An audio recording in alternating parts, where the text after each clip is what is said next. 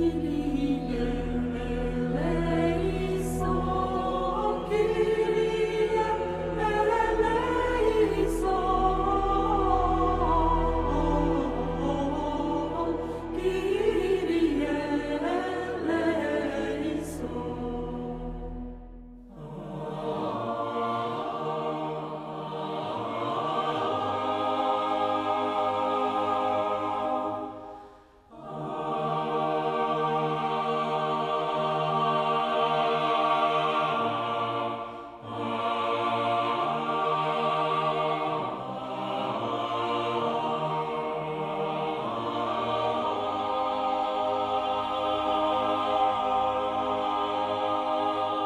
Père Serge, c'est un homme qui ne ressemblait à personne, ni sur le plan spirituel et monastique, ni sur le plan humain. Faire mémoire de Père Serge, ce n'est pas si facile. C'était un homme simple. Hein.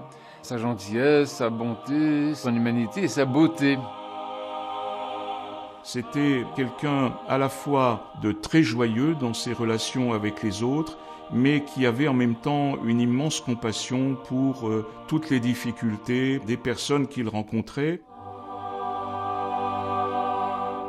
Nous sommes dans l'église de la Sainte Trinité, dont le père Archimandrite Serge a été recteur pendant plus de 40 ans. Le père Serge était d'une famille très aristocratique euh, de Russie. Son père était général de la garde du tsar, donc très proche de la famille impériale. Avec la Révolution, bien sûr, ils ont quitté la Russie pour la Géorgie. Et de la Géorgie, le père de Père Serge, le général Georges Chevitch, s'est engagé dans l'armée blanche où il a combattu aux côtés de Denikin puis de Wrangel. En 1920, euh, le père Serge et sa famille ont émigré avec l'exode de l'armée blanche et de toute la Russie blanche. Et ils se sont d'abord retrouvés en Suisse, puis ensuite à Berlin, et ils sont arrivés à Paris en 1923 à la fin des années 20, euh, euh, il euh, a commencé à participer à des congrès de la fraternité Saint-Alban et Saint-Serge qui se tenaient en Angleterre et a entrepris aussi des études à l'université d'Oxford d'histoire de l'Église, de patrologie et de théologie. Il contribuait à la revue Le Messager, Vesnik, euh, par des articles surtout sur la situation de l'Église en Russie, qui a toujours été un de ses centres d'intérêt. Et parallèlement, il avait une vie spirituelle très approfondie, il était très assidu au service de l'Église. Euh, il euh, faisait beaucoup de lectures spirituelles. Son emploi à la banque, euh, où il était chargé des comptes des têtes couronnées, lui laissait beaucoup de loisirs pour faire autre chose. Et il racontait qu'il lisait non seulement des œuvres patristiques, mais qu'il avait une fois recopié à la main entièrement l'échelle de Saint Jean Climac, qui était un de ses livres spirituels préférés. Dans le début des années 1930, il fréquentait assidûment le cercle qu'avait Nicolas Berdyaev à Clamart, où il invitait toutes les personnalités intellectuelles de cette époque. Il y avait euh, évidemment quelques personnalités orthodoxes, dont Vladimir Lossky, euh, dont le père Evgraf Kovalevski, futur évêque, et beaucoup de grandes personnalités catholiques de l'époque, surtout des philosophes, en particulier euh, Emmanuel Mounier, Gabriel Marcel, euh, Jacques Maritain, qui est euh, resté un ami de Père Serge jusqu'à son décès, et de nombreuses autres personnalités. donc les réunions de Berdiaev donnaient lieu à des échanges intellectuels, théologiques. Père Serge était connu pour sa grande connaissance de l'œuvre de Dostoïevski. Ses exposés étaient très appréciés dans ce cercle. Et c'était aussi un, centre, si vous voulez, euh, qu'on peut qualifier euh, d'œcuménique, mais euh, euh, d'œcuménique au sens profond du terme, puisque c'était en fait des problèmes de fond qui étaient abordés avec un respect des identités et des différences, mais qui permettaient aux uns et aux autres de mieux se connaître.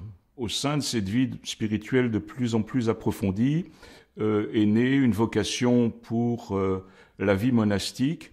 Et donc en 1938, il a écrit au Staret Silouan, au mont Athos, pour lui demander de bénir son projet. Euh, ce que le Staret Silouane a fait dans la dernière lettre qu'il ait écrite, parce qu'il est mort euh, la même année, et en lui disant va et dis au monde de faire pénitence, qui a été un des leitmotifs de l'enseignement spirituel du, Père Serge par la suite. Il n'a pas pu tout de suite réaliser ce projet parce qu'il avait la charge d'une famille qui comportait non seulement ses parents, mais euh, également sa sœur, le fils de sa sœur, deux servantes âgées, donc une lourde charge familiale. Puis est venue la guerre, et le père Serge, comme d'autres de ses compatriotes, a d'abord été enfermé euh, à la suite du pacte germano-soviétique par les autorités françaises dans le camp de concentration du Vernet. Il était euh, libéré, mais euh, l'année suivante a été interné par les Allemands, cette fois à la suite de la rupture du pacte germano-soviétique au camp de concentration de Compiègne, qui était un camp de, évidemment de sinistre mémoire, puisque euh, la plupart des gens qui ensuite euh, allaient en, camp de concentration en Allemagne étaient euh, triés dans ce camp. le père Serge a été également libéré à un moment donné de ce camp, mais l'expérience des camps lui a permis d'approfondir considérablement sa vie spirituelle. Elle va donner notamment l'occasion de lire la Bible en entier et surtout de s'initier à la prière de Jésus parce que l'un de ses compagnons était un, moine de Valaam qui maîtrisait bien la pratique de cette prière. Et donc, euh, sa volonté de devenir moine euh, a pu se concrétiser à la fin de l'année 1941 euh, où il était tonsuré. Dès lors, il a été rattaché à la paroisse de, Vanves, qui existait déjà, mais L'église était située à quelques dizaines de mètres d'ici, dans euh, euh, un pâté de bâtiments qui a maintenant disparu. Et là, il aidait le prêtre surtout euh, en venant en aide à des personnes en difficulté. En 1945, la paroisse de Vanves était associée avec un petit monastère où vivaient une ou deux moniales et euh, un moine, le moine qui était le recteur, le père Stéphane Svietozarov. Et donc Père Serge a commencé à mener la vie monastique ici, avec eux, jusqu'au moment où le père euh, Stéphane est reparti en Russie en 1947. Alors Père Serge est devenu le recteur de la paroisse.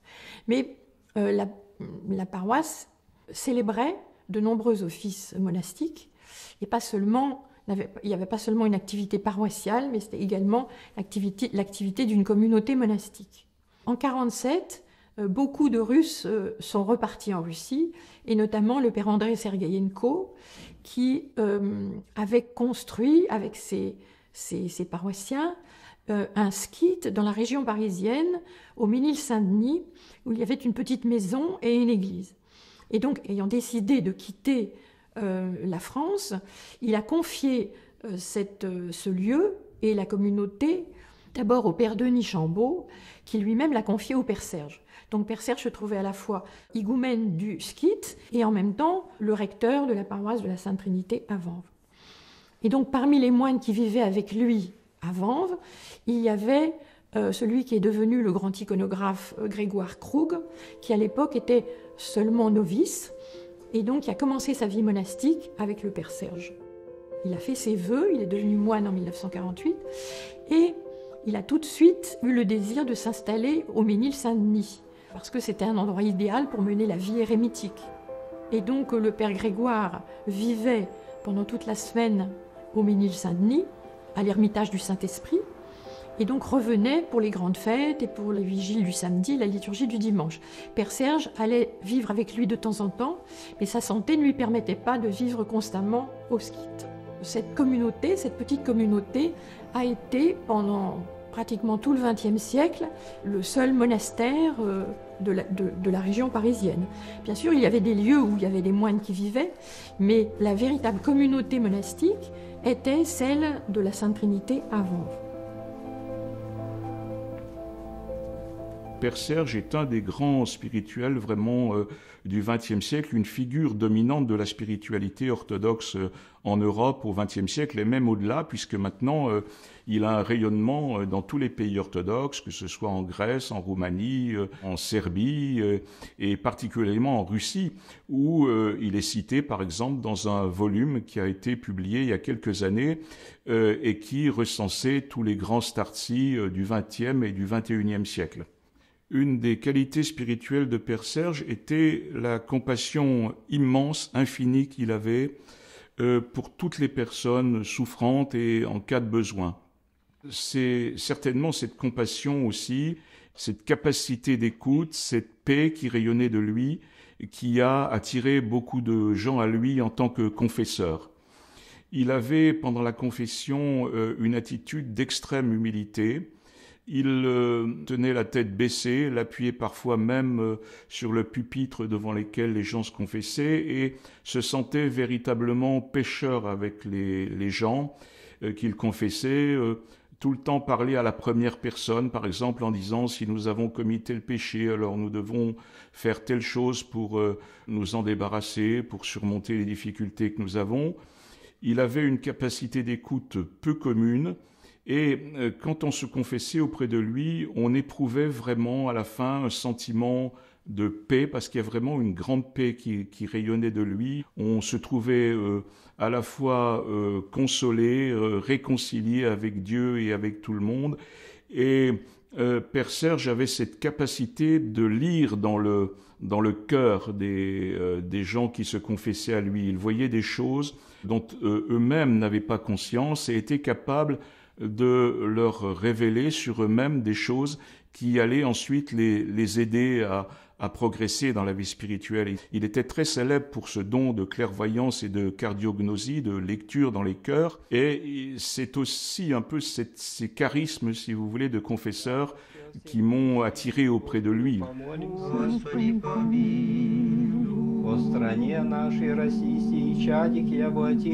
Père Serge est celui qui m'a vraiment formé à l'orthodoxie. Je l'ai choisi comme père spirituel et donc ensuite je suis devenu un, fidèle de sa paroisse.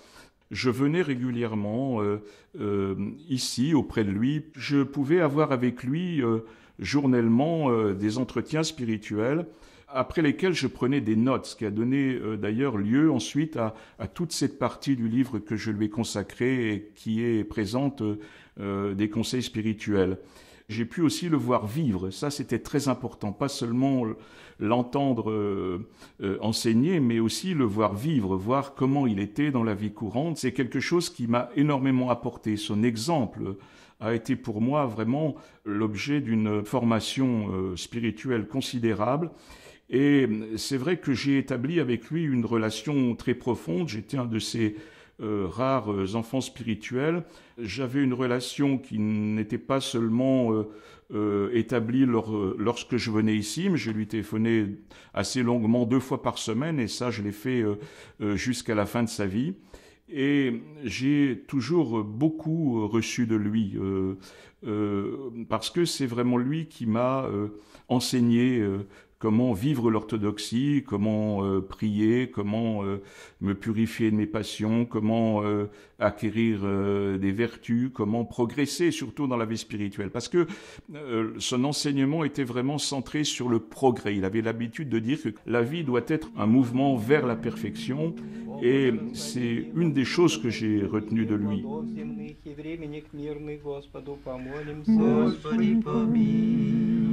О плавающих, путешествующих, недугающих, страждущих, плененных и о спасении Господу помолимся. Господи, помилуй. О, избавитесь нам от всякие скорби и гнева и нужды, Господу помолимся. Господи, помилуй. Заступи, спаси, помилуй и сохрани нас, Боже, Твоею благодатью. Господи, помилуй. Пресвятую, Пречистую, Преблагословенную, Славную Владычицу нашу Богородицу и Преснодеву Марию, со всеми святыми, помянувшие сами себе и друг друга, весь живот наш Христу Богу предадим. Тебе, Господи, яко подобает тебе всякая слава, честь и поклонение Отцу и Сыну и Святому Духу, ныне и и во веки Dès 1968, j'ai entendu parler du père Serge par le père Sophrony Sakharov, donc parce que ma mère et moi nous allions euh, visiter son monastère en Angleterre, et le père Sophrony nous conseillait d'avoir pour père spirituel le père Serge à Paris. Personnellement, je me suis véritablement convertie à l'orthodoxie, au christianisme, euh, à la suite d'un voyage en Grèce en 1974.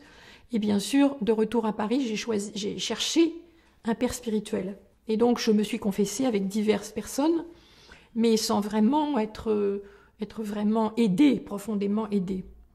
Jusqu'au moment où je me suis souvenue de la parole de Père Sophronie, et je me suis dit, il faut absolument aller rencontrer le Père Serge. Et donc, je l'ai rencontré ici, ici même, et très vite, le Père Serge m'a adopté.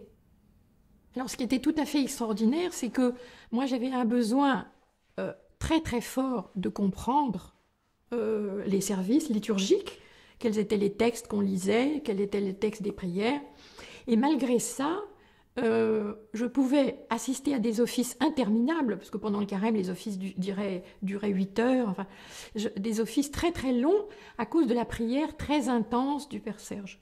Et c'est quelque chose qui m'a été confirmé par des gens qui ont vécu ici, des moines, enfin, des gens très attachés par ailleurs à ce que les services soient, faits dans la langue vernaculaire, mais tous ceux qui ont célébré ou suivi les services avec le Père Serge donc en slavon, même pas en russe, en vieux slave, euh, n'était absolument pas gêné par le fait que c'était cette langue ancienne voilà, et difficile. Et il célébrait d'une voix très douce, très calme, très paisible. Et les chants étaient extrêmement beaux parce que c'était tous des musiciens avec une oreille, euh, une bonne oreille. Et donc euh, c'était très liturgique comme musique. Ce n'était pas du tout une, des chants d'inspiration profane. C'était vraiment, vraiment monastique et liturgique. Et c'était extrêmement paisible. Père Serge ne faisait, euh, ne donnait aucun signe de l'intensité de sa prière, bien sûr. On ne pouvait pas le savoir. Il était d'une discrétion absolue. Mais de fait, tout le monde était comme euh, à, 30 cm du sol pendant qu'il célébrait. En tant que prêtre, euh, Père Serge célébrait d'une manière très particulière, avec une très très grande concentration que personnellement je n'ai euh, vu que chez un autre grand spirituel euh, du XXe siècle, qui est le patriarche Paul de Serbie. Il ne se laissait absolument perturber par rien, il avait une très grande paix, et aussi il était extrêmement lumineux pendant les célébrations, et particulièrement le jour de Pâques, où vraiment on percevait de manière euh, sensible la lumière qui émanait de lui.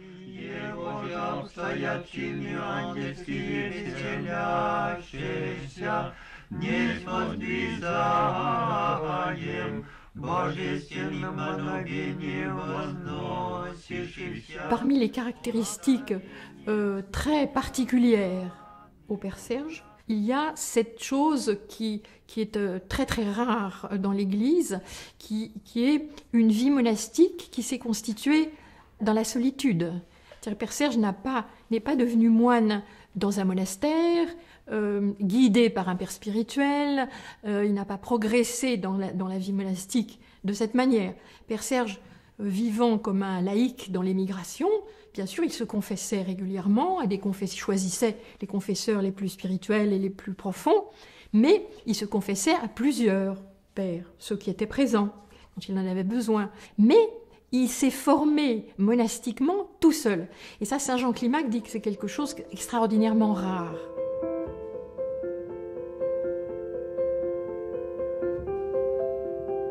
une personne très proche qui était auprès de lui au moment où il est mort, euh, bien sûr, a entendu son souffle qui petit à petit diminuait, s'apaisait, puis s'arrêtait.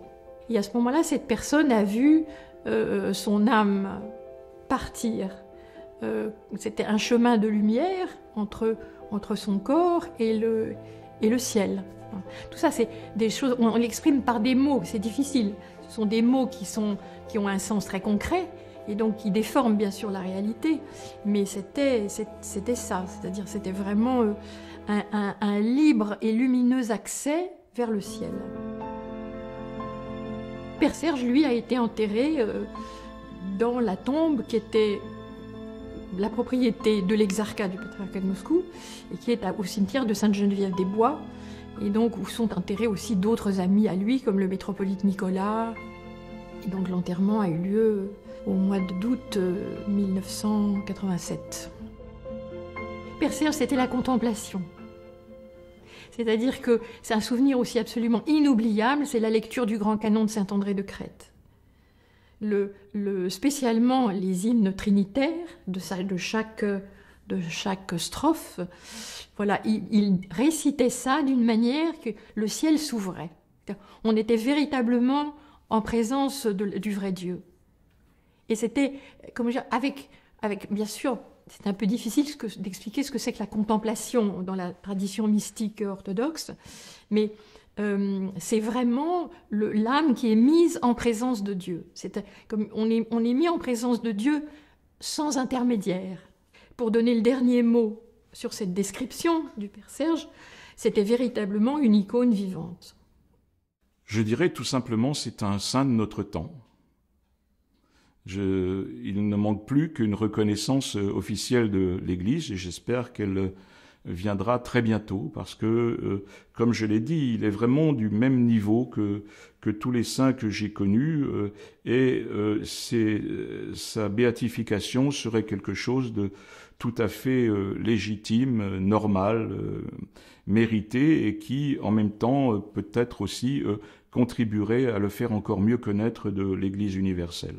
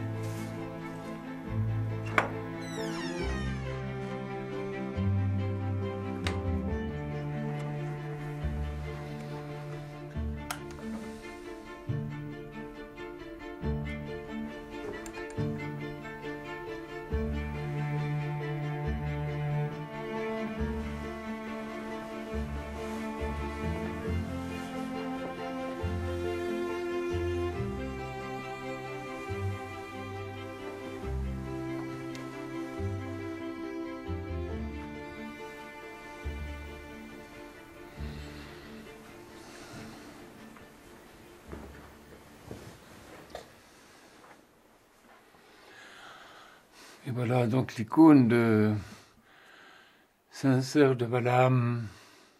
Et on voit sur l'icône le monastère au fond. Et Saint-Serge de Balaam qui est le, patron de notre bon père Serge Chevitch. Donc on est content de voir son père spirituel en quelque sorte. Voilà. Que Dieu nous sauve par ses prières dans cette euh, église qui est un vrai euh, sanctuaire. Hein. On est entouré de, tous les saints possibles, je pense. Les saints que Père Serge euh, vénérait particulièrement. Parler des saints, il n'y a pas grand-chose à dire sur les saints. Ce sont des gens très simples, des gens très réalisés, très accomplis. Et Père Serge, tel que je l'ai connu, c'était un homme simple. Hein. Je suis frappé par la beauté de son visage, son sourire, ses yeux intelligents et son, donc son humanité, ça, ça c'est quelque chose qui me reste beaucoup, sa, gentillesse aussi, et son humour. C'était un homme, c'est ça, c'était un homme. Les saints, c'est ça, c'est des gens qui réalisent l'humanité. Et ensuite, l'autre message que je voudrais partager, c'est sa façon d'être, de fonctionner, si je peux dire, liturgiquement. Je me souviens de, sa façon de célébrer avant. C'est extraordinairement naturel. Je crois qu'il était tellement, tellement imprégné des offices de l'Église. C'était lié au fait qu'il pratiquait la prière du cœur. Père Serge pratiquait la prière intérieure pendant les offices. Donc il était à la fois à l'intérieur par la prière et à l'extérieur, si je peux dire, par les gestes, par les paroles qu'il prononçait. Donc cette, cette profondeur, en fait, qu'on ressentait, qu'on ressentait, c'était lié à son activité intérieure.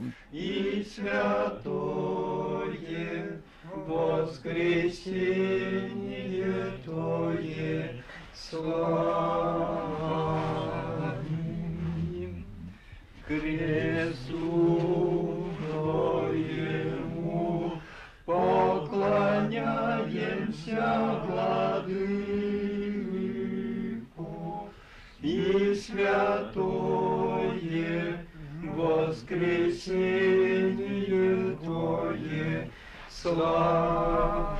puis la troisième euh, message que je veux partager, c'est effectivement voilà ce qu'on appelle le père spirituel. Disons moi, je l'ai connu aussi comme un prêtre euh, à qui j'allais me confesser, me confier. Enfin, c'était euh, souvent un petit peu l'un et l'autre. Disons, j'avais moi des, fardeaux à déposer, mais, mais ça, ça, ça, évoluait vers, vers un partage, vers un enseignement quand même très très simple, très précis, très, très concret.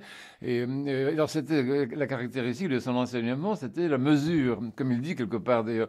Par exemple, quelqu'un venait en disant voilà, il se passe quelque chose de terrible dans ma vie ou dans l'église, je vais jeûner pendant 40 jours parce que vraiment c'est affreux. Et personne disait, oui, c'est bien, c'est bien, c'est bien, mais si vous jeûnez quatre jours ou cinq jours, c'est le dixième de ça, ça sera très très bien. Et un autre, il disait, mais quelle est votre vie? Alors la personne disait, voilà, je fais ceci, je fais cela, je fais cela. Oh, mais votre vie, c'est comme un, c'est comme un timbre-poste, tout petit votre vie. Alors, à l'intérieur de ce timbre-poste, faites le maximum pour être agréable à Dieu. Un vrai père spirituel, c'est quelqu'un qui s'adapte à toi, qui te prend comme tu es, euh, qui, qui, qui t'encombre pas avec des choses compliquées, non? Qui te dit à toi ce qui est bon pour toi et qui, ce qui va te faire du bien à toi. Voilà. Pour nous, les orthodoxes, enfin, la paternité spirituelle, ça définit l'Église. Notre conception de l'Église n'est pas une conception euh, juridique, académique, etc. C'est essentiellement le lieu où Dieu se manifeste comme Père. Un Père, c'est quelqu'un qui te dit une parole et quelqu'un qui donne l'énergie de mettre cette parole en pratique. Justement parce que Dieu Père fait ça. Dieu Père, il donne la parole, le verbe, et il donne l'Esprit Saint. Et le Père spirituel, à notre niveau, fait la même chose. Il nous donne une parole et il nous donne la grâce de mettre cette parole en pratique. Et cette paternité, chez lui, c'était très développé dans la prière pour les défunts. La prière pour les défunts, c'est vraiment l'acte de foi absolu. Parce que tu n'as pas de preuve que ça marche. tu n'as pas les résultats avant la fin du monde, nous ne saurons pas si notre prière pour les défunts a été exaucée. Donc lui, il priait beaucoup, beaucoup, beaucoup. Et cette impression, c'est comme un homme qui avait au moins 8 heures de prière liturgique par jour, ce qui est énorme. Sa paternité s'exprimait particulièrement à l'égard des défunts, euh, la compassion à l'égard des défunts, l'amour pour les défunts, l'espoir que les défunts vont quand même trouver une solution dans leur marasme, parce qu'une bonne partie des défunts partent dans des conditions vraiment très difficiles. Qu'est-ce qu'ils vont devenir? Qu'est-ce que le père spirituel est celui qui prie avec angoisse, et avec amour, et avec intérêt, avec souci, un souci paternel justement pour les défunts. Et l'exemple, bien sûr, qu'on peut donner qui, qui, nous vient tout de suite à l'esprit, c'est l'exemple de ce bon père Krug qui a été vraiment, bon, ça a été son fils spirituel dans la mesure où Père Serge lui a donné la vie le père Strou était un homme qui était très très très fragile qui était vraiment entre la vie et la mort, euh, et, sur le plan de son âme et sur le plan de son corps. et Père Serge lui a vraiment donné la vie. Il a donné la vie, et c'est pour ça que quand on pense à Père Serge, quand on prie Père Serge, forcément on pense aussi au Père Krug, non seulement parce qu'ils étaient amis, ils s'aimaient beaucoup, étaient comme des frères, mais c'était plus que des frères. Lui était vraiment un père pour lui. Il a tiré Père Grégoire de l'enfer. Alors ça, c'est vraiment, c'est ça un père spirituel. Moi, j'aimerais bien euh, que ça m'arrive un jour, si je suis au port de l'enfer, que quelqu'un me, tire aussi et me, fasse entrer dans la vie. C'est pour ça que nous avons dans cette église une espèce d'église sanctuaire absolument extraordinaire où nous nous trouvons. Derrière moi, il y a l'endroit où repose Père Grégoire. Et euh, donc c'est un endroit où on peut prier facilement. La présence de Père Krug euh, symbolise véritablement la prière paternelle de Père Serge pour les défunts. Accorde, Seigneur, le repos à ton serviteur, le moine Grégoire, là où resplendit la lumière de ta face, car tu es la résurrection, la vie et le repos de tes serviteurs, ô Christ notre Dieu. Et nous te rendons gloire avec ton Père éternel et ton Esprit très saint, bon et vivifiant, maintenant et toujours et dans les siècles des siècles. Amen.